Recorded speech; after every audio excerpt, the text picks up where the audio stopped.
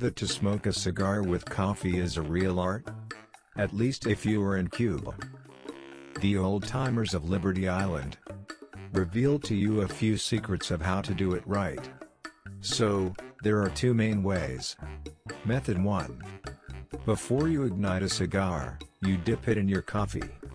Do not confuse, you need to dunk into coffee the end of the cigar you are going to sip, but not the one which will be set on fire. A wet cigar naturally will not flare up. It is better to do this with espresso coffee.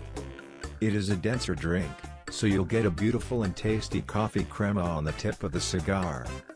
Cubans often do dip a cigar into rum. Even more often than in coffee. Then the taste of the drink, while smoking, remains in your mouth. Method 2. It is more complex, but much more delicious. For making coffee Cubans usually use the Italian coffee maker, mocha. Here they call it cafetera. Those who make coffee in mocha know, that it usually makes coffee without any crema. But not in Cuba. Here they use a cunning trick, which, by the way, you can borrow. When the first drops of coffee begin to appear in the mocha, they got taken into a cup. With cane sugar added. And start whipping it up with a spoon. In a minute this gruel becomes surprisingly light. And when the full portion of coffee is ready, this mixture is added to the drink, where it magically turns into crema. This gruel is called espumita, little foam.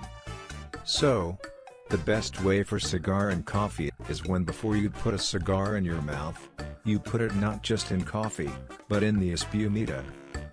The coffee taste in this case becomes much brighter. By the way, did you know that cigars are normally twisted with leaves collected at different levels of tobacco bush? The leaves that grow at the top, differ in strength. Growing in the middle are responsible for the aroma of the cigar. And it depends on the lowest ones how the cigar will burn. Interesting, right?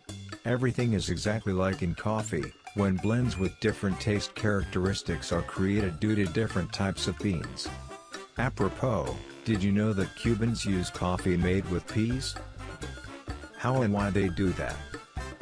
That's another story. Subscribe to our channel, dear friends, and we promise to tell you many many other interesting things about coffee.